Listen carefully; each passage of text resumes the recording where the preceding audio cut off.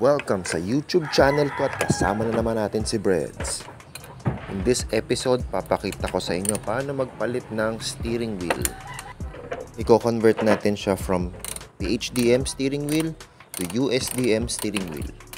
First things first, bago nyo tanggalin yung steering wheel, disconnect muna natin yung negative terminal ng battery. Shoutout nga pala kay Benji Laping na naka small body 4E engine. Shoutout din kay Dean Varian all the way from Cebu na same color small body.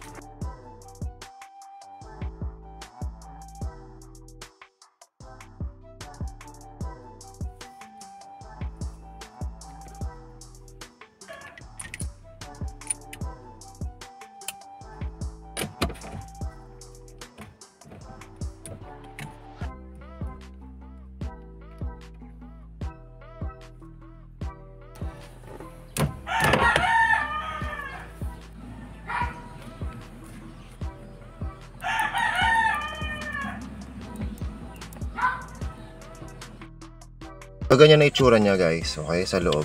Kung mapapansin nyo, meron siyang parang plastic na round part dito. Ayan, pakita ko sa inyo.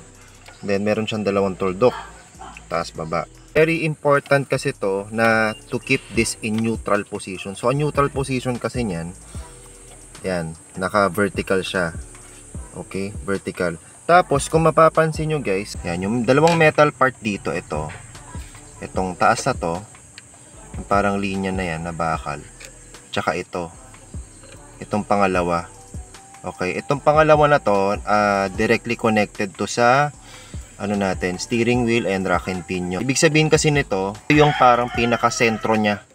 Okay, pinaka-sentro nung rack and pinion assembly natin, tsaka nung rack and entire rod. Minsan kasi, minsan, yung iba, pag nagpapalit ng manibela or steering wheel, minsan nandito siya sa gilid. Nangyayari, hindi aligned or hindi sentro yung rack and pinion niya. So let's say kunyari, pagkakabig siya sa kaliwa, mas malaki yung liko niya sa kaliwa as compare sa kanan. Kasi wala to sa wala to sa sentro or sa vertical position. Important yan guys na magkatapat lagi sila. So indication niya na nasa center alignment yung ating steering wheel. Bago kayo magpa-wheel alignment guys, ang suggest ko guys, bago kayo magpa-wheel alignment, i-check nyo muna tong tatlo, 1, 2, and 3. Kailangan nasa sentro sila. Para pag nagpa-wheel alignment kayo, very accurate yung magiging alignment. Okay? Mas magiging accurate siya. Tsaka mas balance yung ikot papunta sa kaliwa at papunta sa kanan. So yun lang naman yun. That's the time na ikakabit na natin yung uh, USDM natin na steering wheel. Ito kasi yung horn niya eh. Yan, ganyan. Yan, meron siyang screw dyan, left and right magkabila, okay? Pag tatanggalin nyo to, huwag nyo siyang biglang uhugutin kasi pwede masira tong leather niya. Matanggal nyo muna yung tornilyo dito sa magkabila na nakamount para dito bago nyo siya hugutin. Kasi dito sa lumang steering wheel natin, parang dehugot lang siya, itong horn. Hihilahin mo lang siyang pag ganun. Okay? Para matanggal siya kasi wala siyang tornilyuhan eh. Nyo muna, naka-align siya in vertical lahat bago nyo ikabit to.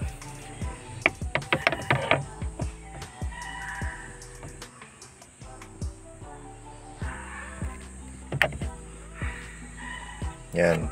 Guys, sumuot na siya.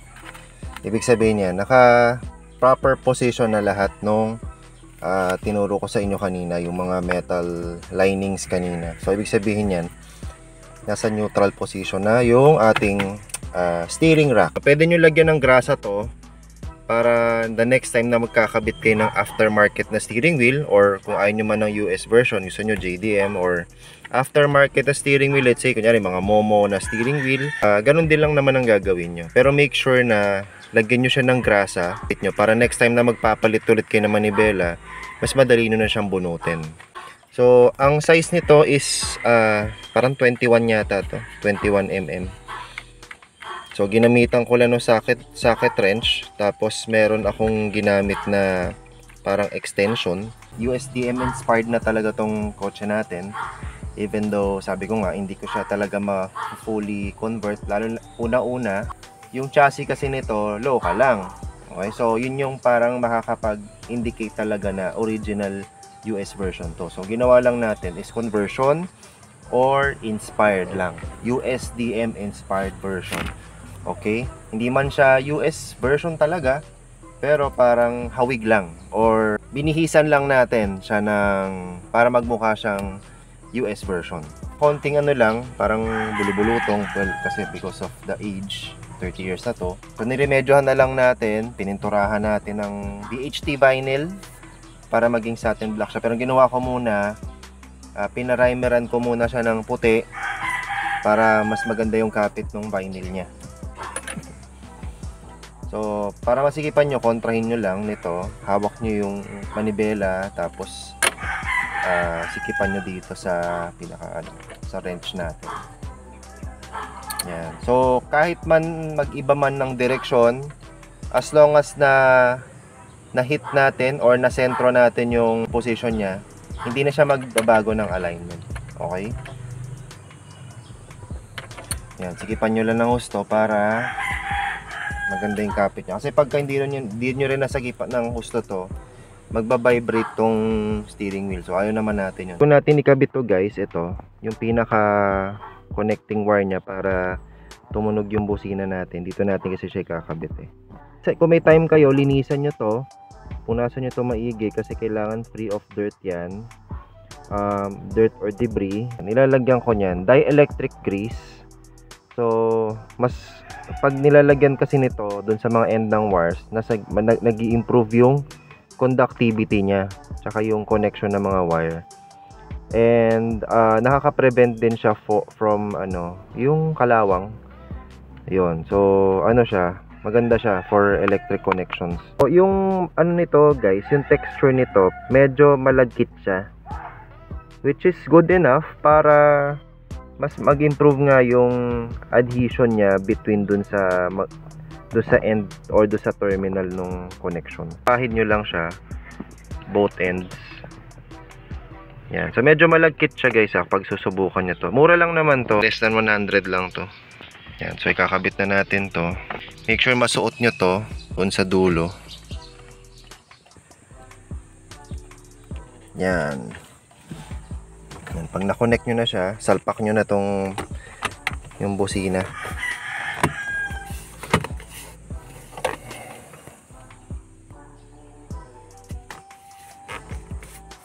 Tapos yung dalawang tornilyo nito, sinasabi ko sa inyo guys. Ito, ito, ito. Yung dalawang tornilyo.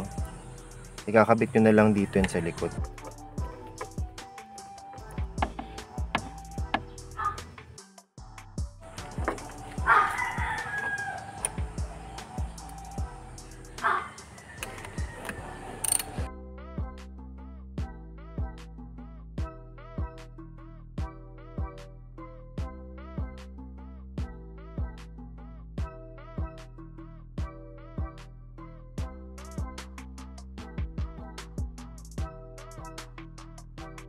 May problema tayo guys.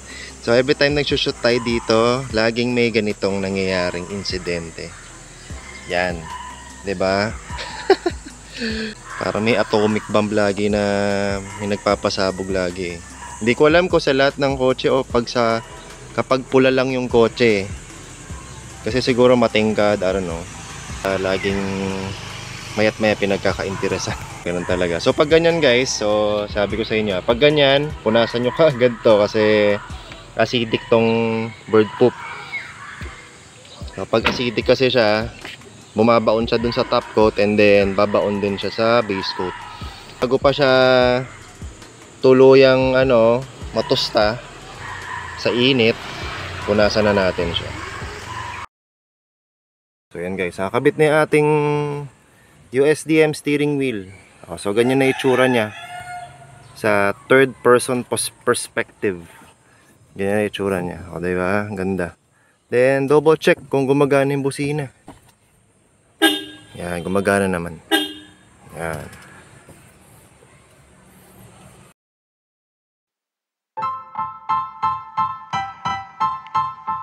Style.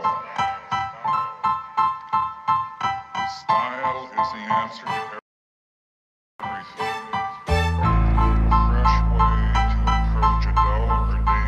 Once again, ito si Breads. Welcome sa YouTube channel ko and I'll see you next time.